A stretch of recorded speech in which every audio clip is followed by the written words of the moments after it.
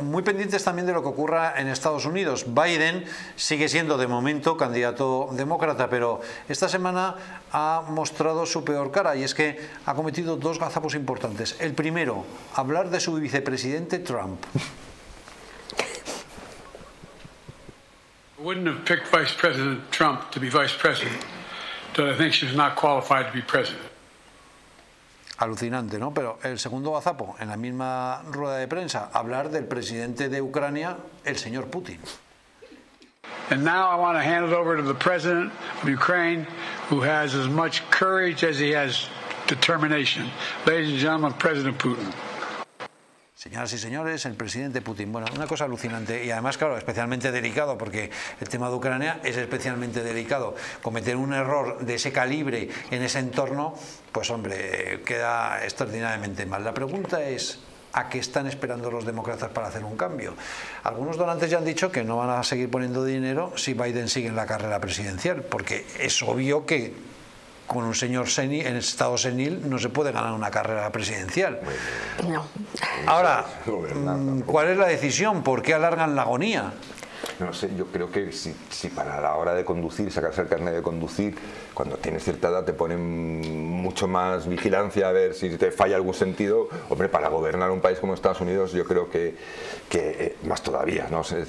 pero yo creo que el problema, el problema para mí es, es, el signo de los tiempos en general en Occidente. El problema es que el Partido Demócrata como partido prácticamente ha desaparecido.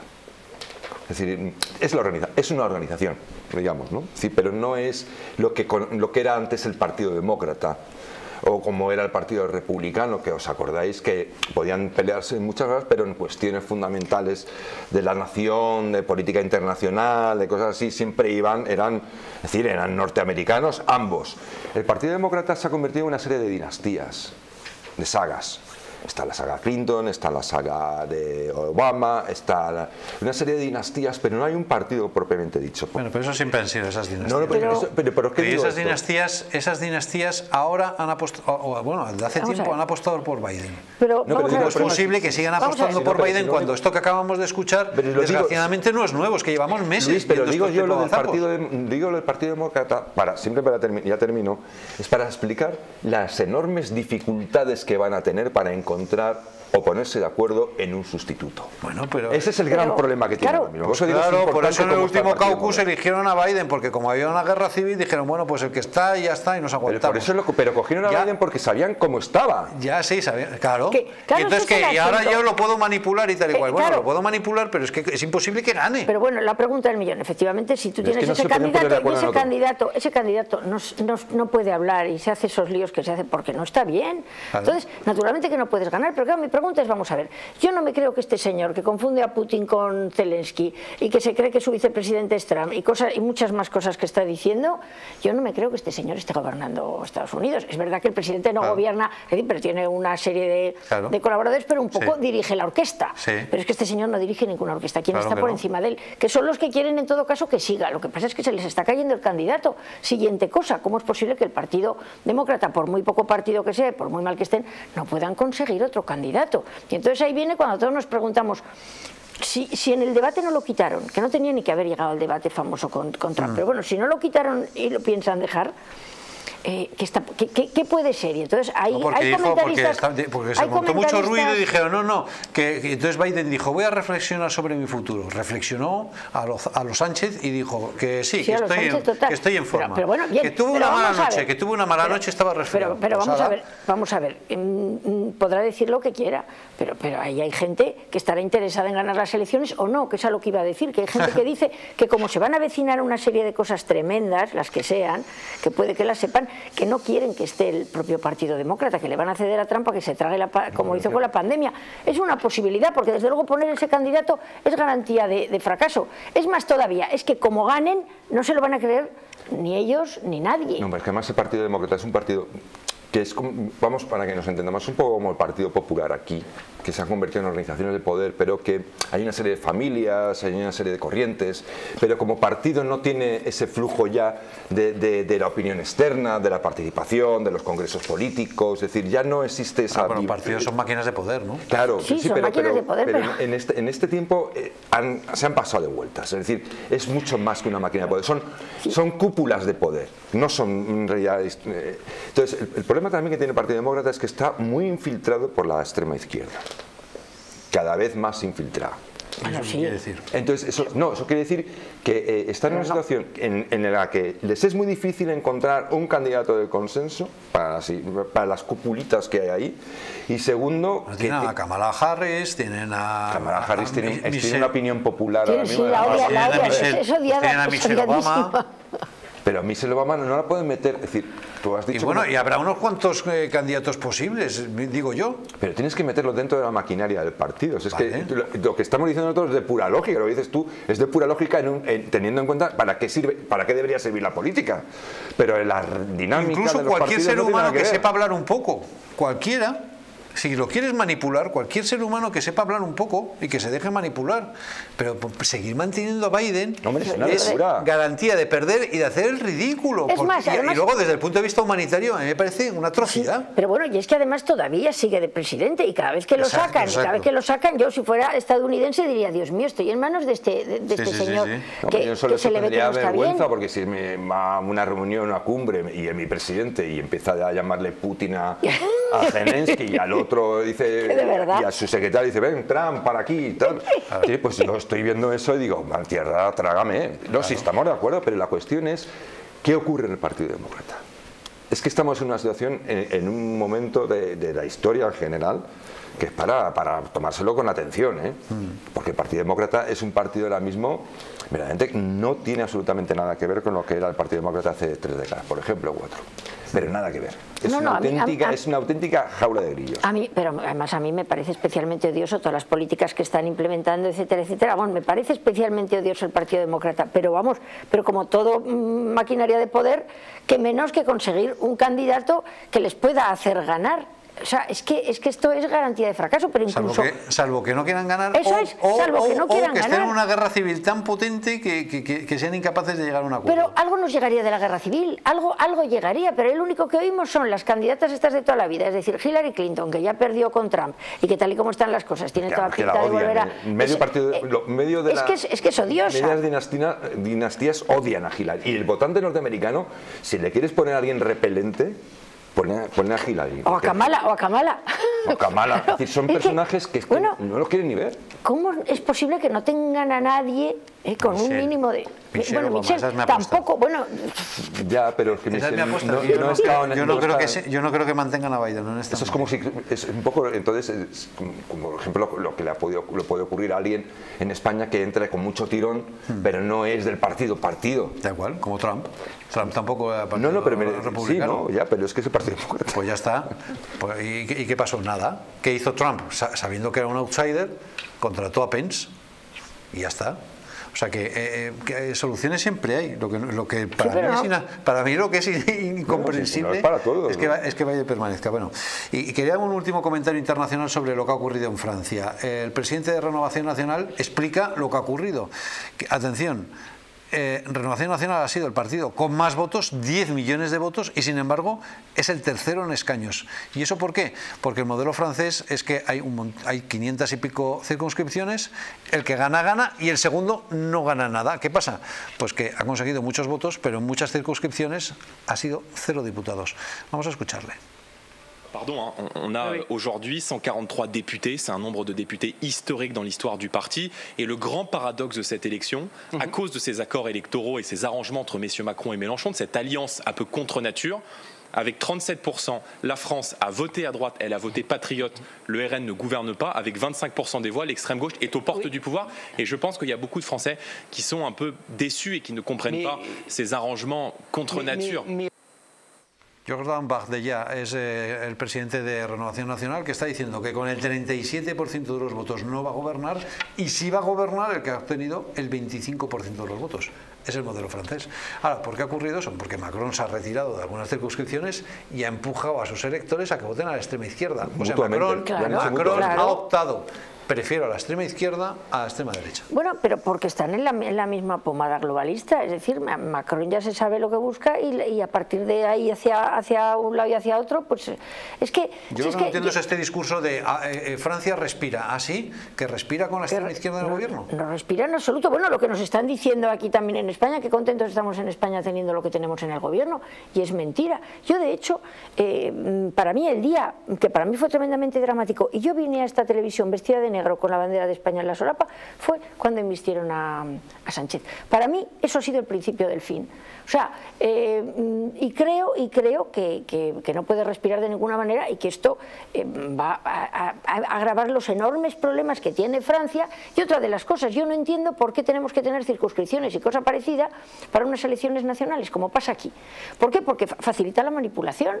¿Por qué? Porque, porque el famoso último escaño aquí de la famosa ley como tú avances un poquito en votos, te lo quedas o no te lo quedas. Y eso hace que muchas veces, con muchos menos votos, haya partidos... Bueno, porque se supone que el Congreso representa a, los territorios también, ¿no? Que eso que lo representa el Senado. Porque el Congreso, yo creo que tenían que haber listas únicas, pero es que también en Francia, bueno, quiero decir, yo no voy a poder variar los sistemas electorales, pero me doy cuenta de que tienen muchísimos errores, que tenía que ser una lista única como para Europa. Y todos los votos valdrían igual. No puede ser que el voto de un señor de Soria valga más que el de un señor de Madrid. pero es que vale siete, este de hecho vale siete veces más. Por eso. Eh, sí, pero eh, lo que han hecho es una, estrategia, simplemente han, decidido entre ellos todos contra el, frente, el, este, renovación, renovación nacional. Renovación nacional han decidido simplemente donde tú tengas más opciones de ganar y yo sea el tercero, yo me quito para que tú te lleves mis votos y ganes el escaño. Claro, pero se permiten esas estrategias. bueno, pero porque eh, bueno, pero porque han hecho una estrategia, pero cambias el sistema, lo cambias otro, habrá otra estrategia. No, pero escucha, la estrategia de tanto, escucha, la estrategia de tú coges la lista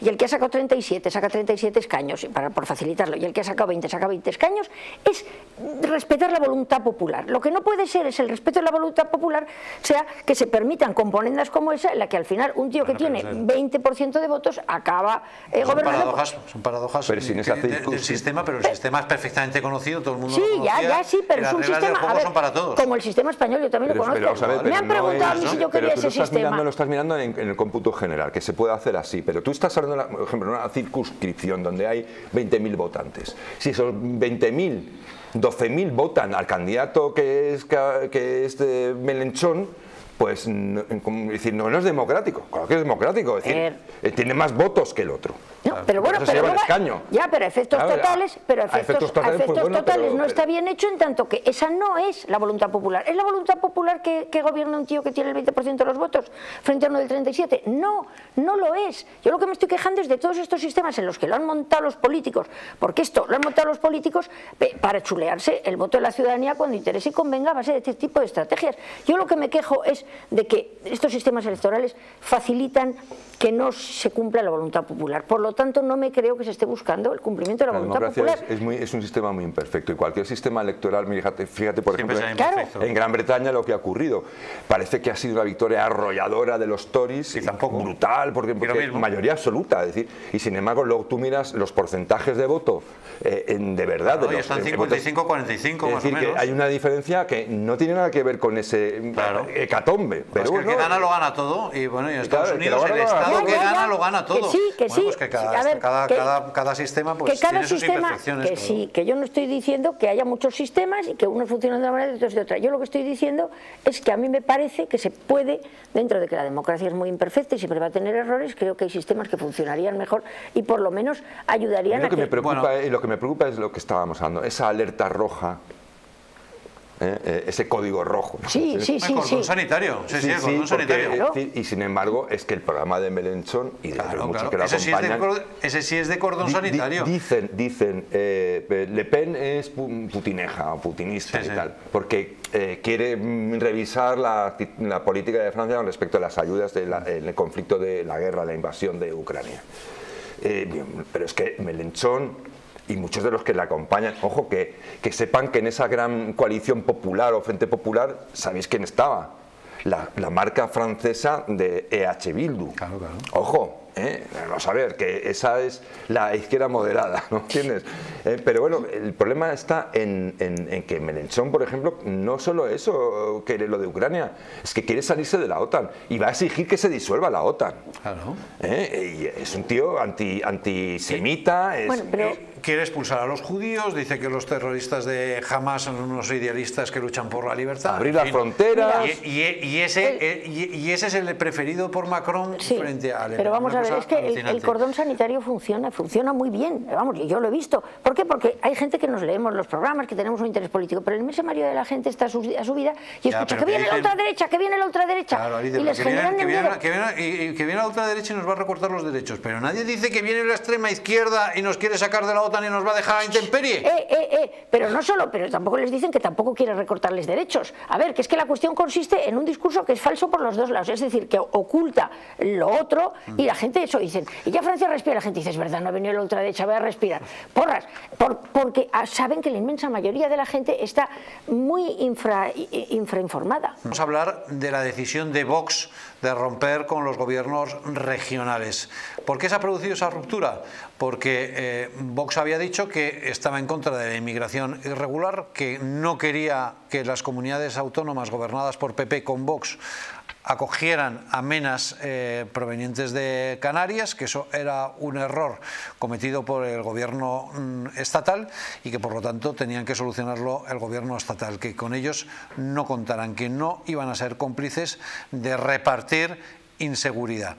La advertencia la hacía Bascal así se considerarán rotos todos los gobiernos regionales que no utilicen todos los medios políticos ilegales para evitar la distribución de menas y, por lo tanto, la distribución de la inseguridad por toda España.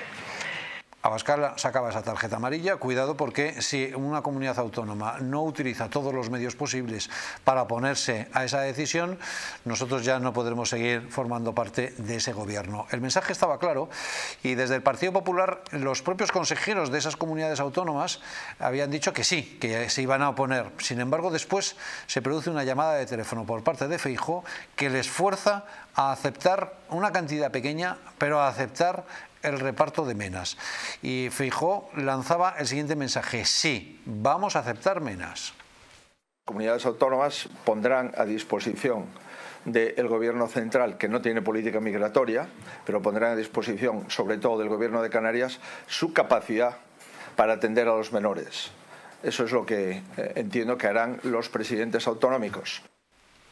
Entiendo que harán, dice Feijo, porque tampoco lo tiene muy claro, porque había cuenta de lo que pasó con Casado, tampoco se atreve a apretar mucho el acelerador, pero sí apretar el acelerador y consiguió que las comunidades autónomas acogieran a inmigrantes. Por cierto, que Cataluña se opuso y oye, no pasó nada. Pero ¿quién estaba marcando la agenda? El Partido Socialista, que estaba lanzando el mensaje, oye, que son niños, que hay que acogerlos, que la solidaridad, que el sentido humanitario, etcétera, etcétera. ¿Y quién estaba rebotando ese mensaje?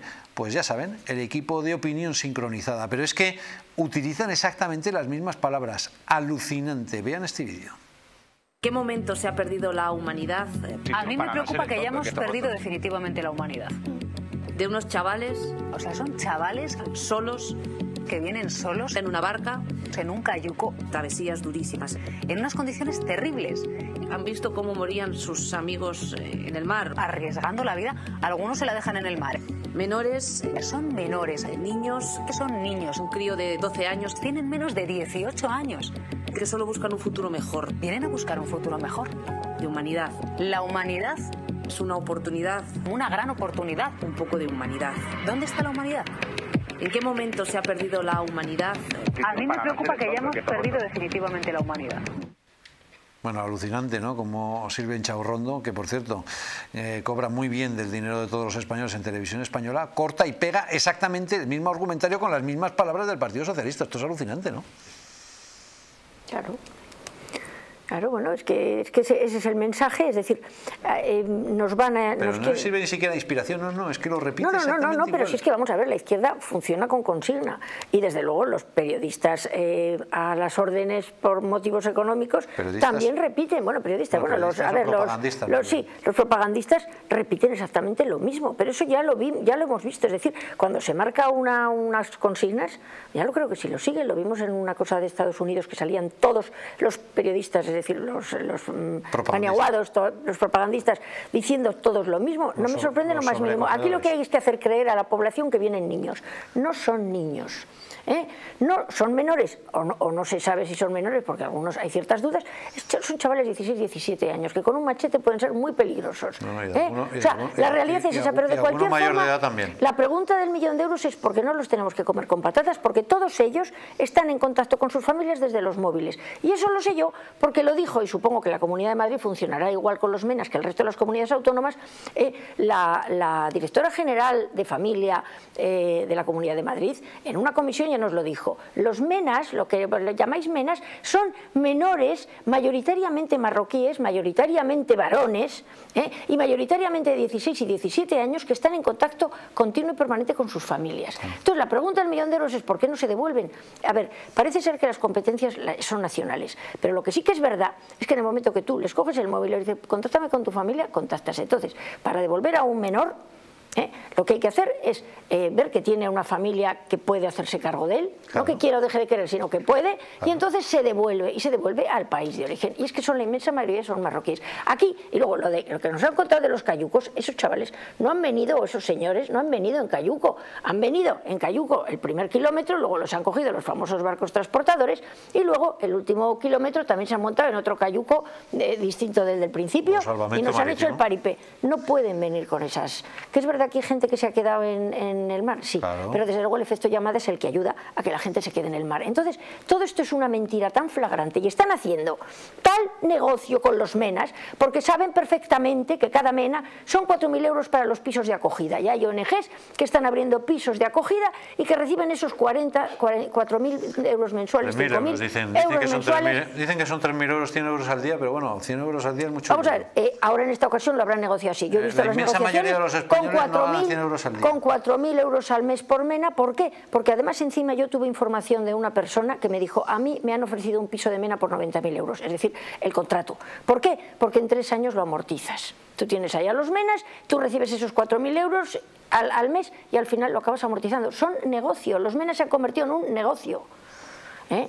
Y esa es la realidad. Bueno, está el tema de los menas, está el tema en general de la inmigración irregular, porque eh, eh, ahora se ha producido el traslado de, creo que son 300 o 400 menas, pero es que hace muy pocos días se han regularizado 500.000 inmigrantes irregulares y eso lo han apoyado Partido Popular y Partido Socialista. Así que, bueno, pues esto ha hecho estallar eh, las costuras de los gobiernos regionales y, desde Vox han dicho, oiga, pues ya hasta aquí hemos llegado, bien paré. Gallardo lo explicaba de la siguiente manera, si hay que elegir entre honor y barcos, elegimos honor. Nosotros tenemos un amor infinitamente superior a nuestros principios que nuestra posición actual en el gobierno y, preferimos, eh, si nos hacen escoger entre el honor y los barcos, escogeremos el honor. Bueno, pues así las cosas. Eh, finalmente, el Partido Popular decide acoger eh, esos menas, se rompe el gobierno regional, los gobiernos regionales y Santiago Abascal, en una rueda de prensa extraordinariamente tensa, realizaba el anuncio de esa ruptura así y el Comité Ejecutivo Nacional acuerda retirar el apoyo parlamentario a los gobiernos de Extremadura, de Baleares, de Aragón, de la Comunidad Valenciana, de Castilla y León y de Murcia. Los vicepresidentes de estos gobiernos anunciarán su dimisión y Vox pasará a la oposición, tan leal como contundente, igual que en el resto de España, a los pactos cada vez más habituales entre Sánchez y Fejo. Muchísimas gracias. Esa rueda de prensa se produjo el pasado jueves, a eso de las nueve y media pasadas de la noche, cuando estaba prevista a las 8 de la tarde. La razón del retraso es que la reunión de ese comité ejecutivo fue extraordinariamente tensa. Y como prueba, las caras largas que se veían en esa eh, comparecencia y también lo que ocurrió cuando terminó, y es que prácticamente ni se saludaron. Quiero que vean esas imágenes porque son muy significativas, en las que el vicepresidente de Valencia, el señor Barreda, no termina de saludar a Santiago Abascal y finalmente lo que sí es, hay es un abrazo entre eh, Jorge Buxade y García Gallardo. ¿Podemos ver esas imágenes del final de esa rueda de prensa? Ahí lo están viendo. Están viendo al vicepresidente de Valencia, le tocan el hombro, el señor Barreda le tocan el hombro, pero no le da la mano y finalmente ahí ven ese abrazo entre Jorge Buxade y el señor mm, eh, Gallardo. Bueno, eh, no sé qué impresión nos da esa comunicación no verbal de lo que ocurre después, pero a mí me parecía, era una especie como de funeral, ¿no? había una tensión controlada brutal. Después le han entrevistado a, Santiago Abascal y ha reconocido que sí, que hubo mucho debate interno, que se tomó la decisión por mayoría, pero que no fue unánime. Es que yo, el, problema que veo en general un poco de cómo funcionan los partidos políticos en general en España. Eh, ese es mi, como ciudadano, lo observo desde fuera. Me encuentro con esta rueda de prensa, que no, no, sé si se admitían preguntas, no tengo ni idea. No, no, no, no, no preguntar. Eh, y entonces yo lo que veo es que igual la situación tensa de una organización, como ocurre también con el Partido Popular o como ocurre con donde realmente mm, son hechos consumados, vas a hechos consumados casi siempre. Es decir, te enteras igual, incluso te puedes enterar el último. Igual. Que, estaba precocinado lo que quieres Sí, es decir, esa sensación de que, de que te pasan por encima, ¿no? Es decir, que es como, como eh, vamos a ver, yo lo voy a resumir. Se supone, se supone, que hubo un comité ejecutivo que tomó una decisión por mayoría. Sí, ya un comité ejecutivo, pero, pero, eh, que decir, el entorno... y probablemente es verdad porque ese comité ejecutivo se retrasó. Luego hubo mucho debate interno. Sí, pero que me refiero que por el entorno que yo conozco de Vox, y no hablo del comité ejecutivo, es como que no hay, no hay, no se sabe muy bien lo que va a pasar nunca. Es decir, que, cuando ocurre algo no es que alguien sepa la corriente interna, si va a ir por aquí o va a ir por allí, que normalmente cuando hay debate en los partidos, más o menos la militancia algo, algo sabe, ¿no? Algo, algo, algo oye de la música, ¿no? Yo creo... Bueno, pero, eh, había, lo que quieres decir es que hay una precocina, supongo, ¿no? Eso es lo que quieres decir. Sí, sí. Bueno, pero, que, pero que el run run de que se podían romper los gobiernos estaba desde hace tiempo. Sí, sí, sí, estaba desde hace tiempo y tal, y estaba, pero de repente... Eh, además coincidiendo el día que se sentaba en el banquillo eh, Begoña Gómez, el, no sé, yo creo que hay, personas del entorno de Vox, que no voy a decir los nombres, que no es que estén en contra, a favor o medio pensionistas, sino simplemente que, están, de vez en cuando pues, se llevan unos, no saben realmente por dónde va el partido, no lo saben no lo saben. Ni un partido, y, no lo digo por Vox, lo digo en general, porque por ejemplo, eh, el caso paradigmático es el Partido Popular, que es un partido que el señor Feijo ha decidido que no va a tener un congreso político hasta al menos 2026. Hablamos de partidos políticos, donde internamente, igual el comité ejecutivo, que en realidad no nos engañemos, son cúpulas, pueden discutir lo que quieran, pero en el partido no hay discusión ninguna. ¿Eh? Entonces, ese, para mí es la gran crítica que le haría a Vox y a cualquier partido. Lo de posponer el Congreso está muy bien, no vaya a ser que, haya debate interno y, lleguen a alguna conclusión. Claro, es decir, es que es un partido político que no tiene Congreso político, es decir, es como un hospital que no tiene camas o no tiene médicos. Es decir, no se puede hablar de medicina en un hospital, no se puede practicar la medicina porque, contra, porque este es un hospital sin medicina. No contrates médicos, no vaya a ser que curen a alguien. Entonces, eso es lo que yo veo que a mí realmente me preocupa, y me preocupa, ya termino, simplemente porque los españoles necesitamos Mucha gente ya no necesita, estamos un poco como en Venezuela, necesitamos una luz, una especie de sensación de que alguien sabe lo que se hace y de que se va a hacer bien. ¿Y tú crees que ese movimiento de Vox no puede generar esa demanda que tú estás reclamando? Yo creo que hay quien ha dicho que ningún votante de Vox lo ve mal y tal. Yo, eh, yo les garantizo que eso no es cierto. Eso no es cierto, que hay, que, hay votantes de Vox que, lo, que no... hay un electorado que no lo entiende. No, no, es que de hecho la, una base, la base fundamental ahora, claro, ahora tienen menos votos, pero la base fundamental de Vox hace nada, el 62% de los votantes hmm. eran personas en realidad que tenían una vertiente, vamos a decir, en, un aspecto liberal fuerte, eh, no de libertario ni liberario, sino que se declaraban liberales. Y era el 62% de la base de los votantes de Vox. No lo sé, me parecen muchos esos, porque creo que la mayoría de los votantes en realidad... No lo veo... Era conservador, sí, sí, perfectamente. No, no, la mayoría de los votantes son gente preocupada con la inmigración irregular. Esa es la inmensa mayoría, creo no yo. Todo, no todo, no No, no, había, aquí había una preocupación por el mangoneo del país, mucha preocupación. Por Cataluña, porque nos roban, ah, porque hay una, una casta... Nacional, sí, porque hay una casta que se ha apoderado del país. Es decir, hay gente que quiere, eh, los jóvenes que votaban a Vox, que yo conocía, con los que he hablado con muchos de ellos, lo que querían es que les devolvieran el país y les devolvieran la, posibilidad de hacer y la esperanza, claro, sí. Claro, pero es que esto lo puede traer. Yo es que tengo otra lectura sobre, sobre el tema. O sea, para empezar, Vox ha perdido muchísima democracia interna, por no decir toda. Es decir, ya no hay mm, congresos, hay una especie como de festejos, que si el viva, que si esto, que si el otro, y se hizo adrede y se fue, mm, se fue reduciendo la, democracia interna y, los debates, etcétera, etcétera. Eh, respecto al votante de Vox, en realidad es gente que se ha desencantado completamente, es decir, gente, vamos a llamarle de orden, es decir, de una visión eh, conservadora, eh, que, se ha desencantado tan absolutamente de las políticas del PP que por eso digo eh, que no va a estar tan mal visto. Puede, haber, puede que algunos compren el asunto de que es que se podía ir a algún lado con el Partido Popular, pero muchísimos... No, la cuestión no era ir con el Partido Popular. vamos a ver, no, pero la, la cuestión es que si tú estás en Castilla y León y eres de Vox y estás haciendo cosas, la estás haciendo para los castellanos leoneses. Bueno, vamos a ver, no déjame, déjame, terminar la, A ver, eh, lo estarás haciendo para los castellanos leoneses, pero, pero es que han hecho muy poquito respecto a lo que han intentado hacer y a lo que parecía que podían hacer por la sencilla razón de que el Partido Popular se está comportando como, como muy mal socio. Pero eso lo sé yo a nivel interno porque además lo he vivido. O sea, el Partido Popular se ha portado como se portaría el PSOE con él.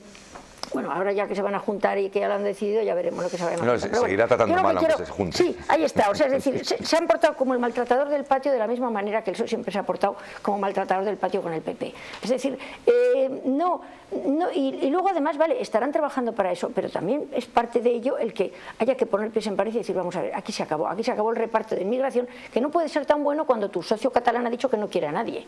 ¿eh? Ah, porque es que ese es el asunto. Y que ha recibido crítica cero, ¿eh? Crítica cero, claro ellos tienen bula. Sí, sí, sí, es que a la Republicana se le permite todo. Claro, lo, que hay, lo, que hay que entender es que es muy posible que esto eh, a corto plazo pueda ser un poco cataclismo, pero a medio plazo sea sea por fin que, que, Vox empiece a coger la dirección que tiene que tomar. Y es una dirección en la que no puede ser eh, eh, la leal ayuda de un tío que está ayudando al PSOE, que es lo que quiero decir. O sea, uno va a la política a hacer, y Vox ha podido hacer muy poco, es verdad que no ha tenido votos suficientes, pero es verdad que no le dejaba el PP nada, porque el PP tiene la línea de la, la misma línea que el PSOE, porque, porque todos sabemos que son dos caras de la misma moneda y que obedecen a los mismos jefes y que además en Europa, que no tienen que cortarse nada, votan en un 90% juntos.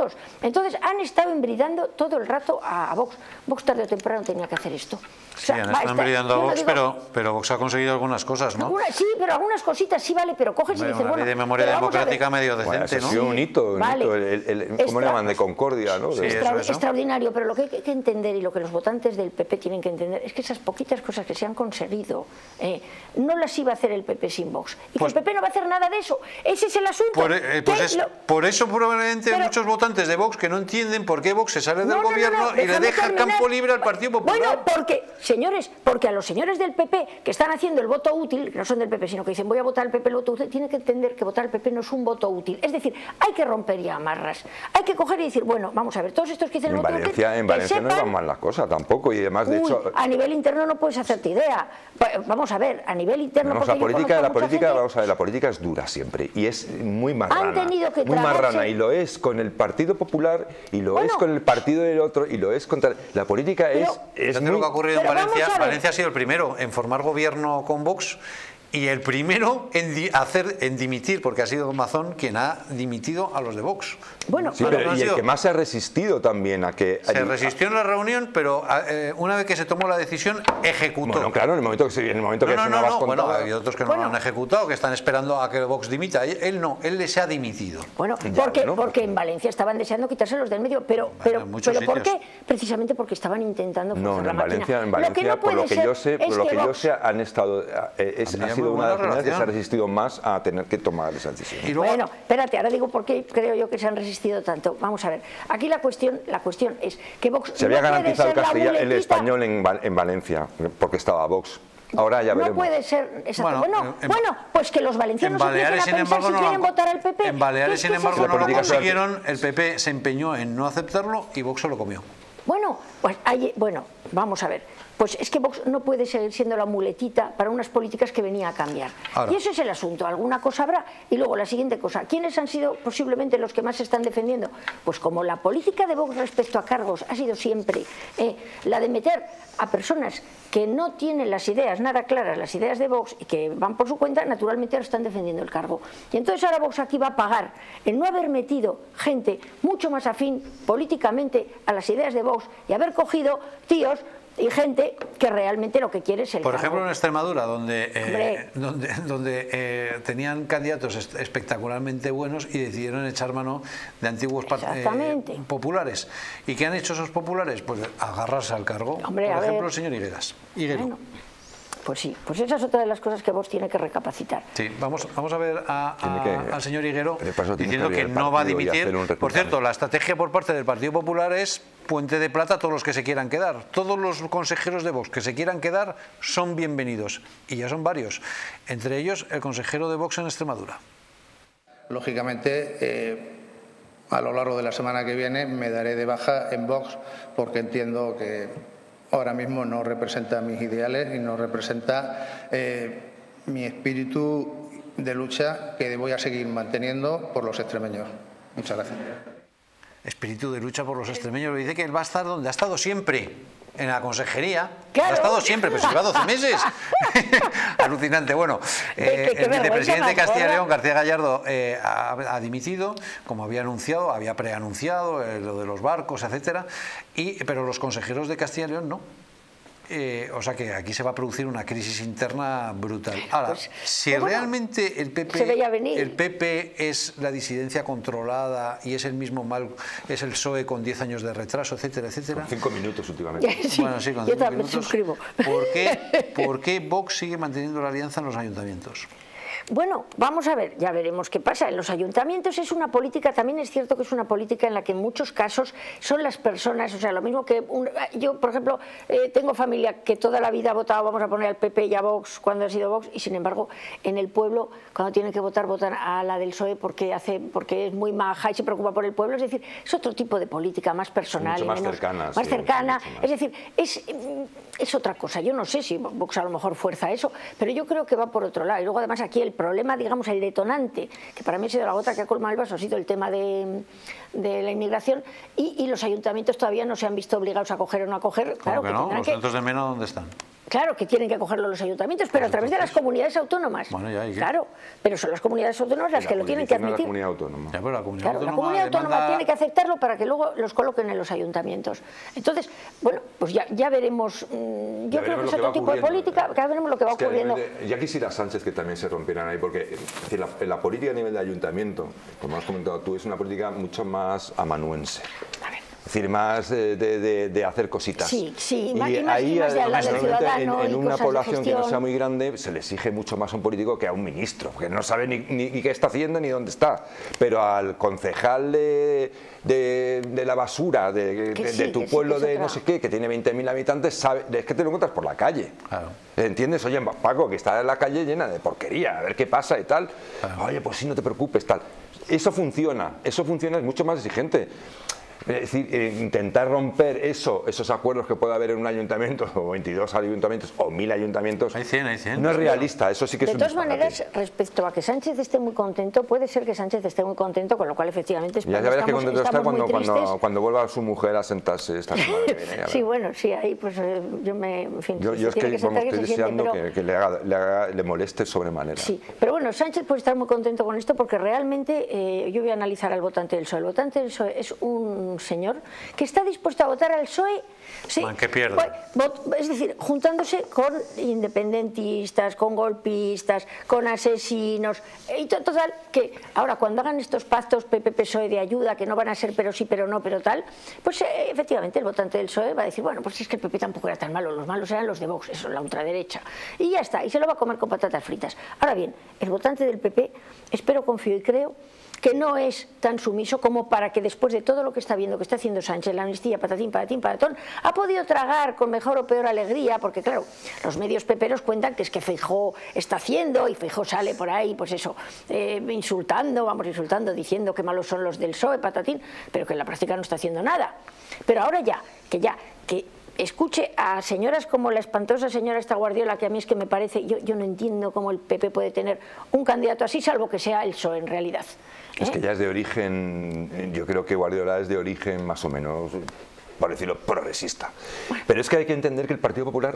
Es eso, no es, que es eso. No es el Partido Popular de hace 30 años, es que el tiempo pasa. El Partido Popular, como en España misma, en muchos otros aspectos, es reflejo, es hijo de su tiempo. Claro, que se gira, ya no hay claro. liberales o conservadores en el PP. Hay un montón de votantes que se creen que están votando Alianza Popular. No, claro, pero, pero Feijó es un, es un... Es, bueno, no voy a decir socialdemócrata, porque yo creo que para eso hay que tener una cierta inteligencia política que yo creo que Feijó no tiene. Sea, con todos mis respetos, para otra cosa sí. un tecnócrata que, tiene, que está dirigiendo una maquinaria de poder Eso es. alternativa al Partido Socialista. Exactamente, no, tiene, no, tiene no tiene mayor alcance. Pero para muchos españoles, pero para muchos españoles es suficiente, porque Sánchez es tan nefasto que cualquier alternativa, aunque sea tan milíflua como, como, Pero es que no es meliflua, es, que no es alternativa, eso es lo que tienen que entender. Pero es que ese tipo de política, alternancia, si ese tipo de visión política que es apolítica en realidad es de lo tuyo, votame a mí, punto. ¿Por qué? Porque soy mejor. ¿Y por qué eres mejor? Ah, porque lo digo yo. ¿Eh? Entonces, ese tipo de política es lo que está trayendo y nos está pariendo los Sánchez que, tenemos. Feijó, hubiera hecho una ley de amnistía? No, obviamente no, ¿no? ¿Feijó hubiera pactado con, con Bildu? No, obviamente no. Entonces, es que, es que se han ¿Hubiese hecho la ley del aborto? No, pero si de repente no, no, hace lo del aborto sí, pero y la, el Tribunal Supremo dijo que le parecía muy bien. El Tribunal no, estoy diciendo, no estoy diciendo que me guste, ni que sea perfecto, pero hombre, lo comparas con Sánchez y claro, hombre, claro sí, no, no, te, no te creas que tanto, vamos a ver, puede que no hiciera la ley de amnistía, pero sí que es verdad que iba a hacer algunas otras cosas al final, de forma que todo, que la concordia... estaba haciendo guiños al PNV y a Junts, sí. Bueno, pero de ahí a una amnistía hay un abismo, hay un abismo. No, pero sí, lo que yo, en, lo que a mí me toca, hablando por mí, yo lo que pido simplemente no es eh, los absolutos, pero sí lo que pido es más política política de verdad. Es decir, te tienes que significar políticamente. Estamos hablando ahora de los menas, eh, que son un puñado de, chavales que vienen de allí y que evidentemente, claro, como no se pueden ubicar y tienen que estar en centros, al final acaban por la calle y en fin, y sabemos que con muchas probabilidades de delinquir. O sea, es decir, no hace falta ser sabio para, para entenderlo. Pero tenemos un problema con la inmigración mm, que es un problema gravísimo.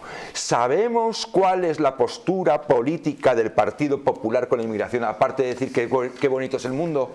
Pues no lo sabemos, porque, pues ya está. porque un día legaliza 500.000 tíos y otro día dice, pide a la Armada que intervenga. Pero es que tampoco lo sabemos del Partido Socialista. Pero es que el Partido Socialista no, igual que legaliza los 500.000, se va a la OTAN Pedro Sánchez y, pide que la OTAN intervenga pero para bueno, luchar contra la inmigración irregular. Luis, pero lo que vaya a hacer el Partido Socialista, a, mí, eh, yo puedo criticar a Sánchez hasta que hasta, hasta sangrar, que me sangre la garganta, pero le da igual.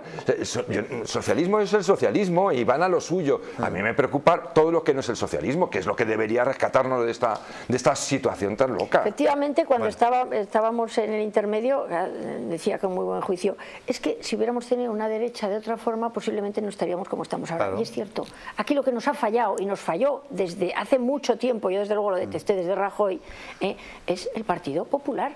Es decir, el, la otra España, la que no está de acuerdo con esas políticas, que nunca hemos tenido gente nada más que... que de esa otra España que para gobernar necesita hacer, creen que necesitan hacer alianzas y por lo tanto siempre rebajan el mensaje. Y luego están los complejos, que parece que el mm. Partido Socialista es el que reparte carnes de demócrata y por lo tanto hay que asumir todo lo que diga el Partido Socialista y la agenda de los medios del Partido Socialista. Pero yo ya he dejado de pensar,